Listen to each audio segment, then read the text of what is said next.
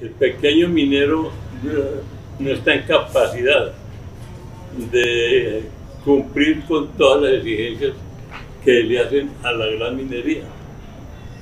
Y nos catalogan a nosotros como que si fuéramos gran minería. Anteriormente, antes de ese código, que es desde 2001, existía la pequeña, la mediana y la gran minería diferenciándose unas de, las otras, que sería lo lógico. La pequeña minería prácticamente la exigencia era muy poquitas para trabajar.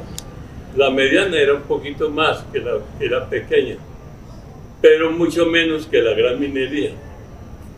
Y con esa ley lo que hicieron fue que unificaron todos los criterios y los pequeños mineros les es imposible llegar toda la documentación eh, para, para esto y es que eso necesita tener una serie de profesionales, geólogo, ingeniero ambiental, eh, químico, bueno, una serie de, informes, contador, abogado, pequeño minero no es capaz de hacer eso.